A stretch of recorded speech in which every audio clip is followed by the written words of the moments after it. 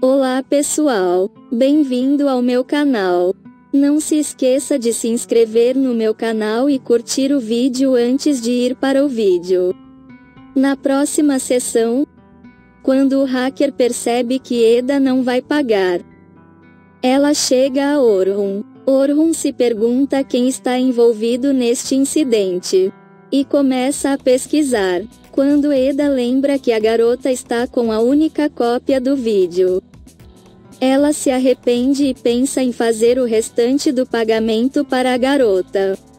O hacker não quer ter problemas com a garota, porque acha que avançou muito na sua própria guerra e que está perto da vitória. Mas nossa querida cobra Eda está errada. Orhun se pergunta quem está lidando com ele e Hira. A tia Ma encontrou o vídeo? Hira contou à tia sobre o vídeo?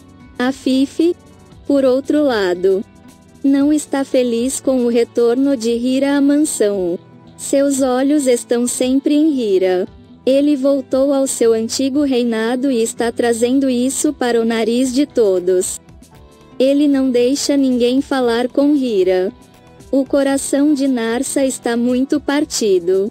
As palavras que ele ouviu infligiram grandes danos a ele. A confiança de Narsa, cuja confiança em todos foi quebrada, foi quebrada mais uma vez. Orhun não quer que Hira saia de casa e se mude para a casa de sua tia, então ela costuma levá-la para sair. Promete resolver esses eventos. Arika tenta pressionar Merien. Merien está perturbada porque Arika a trata assim. Mas ele não diz nada abertamente. Merien, Kenan e Arika estão determinados a revelar o jogo de Arika antes de se casarem. Vuslat e Hira se encontram, mas tem mais tempo para saber que são irmãos. Hoje chegamos ao final do nosso vídeo. Vejo você em outros capítulos. Não esqueça de curtir o vídeo e se inscrever. Adeus.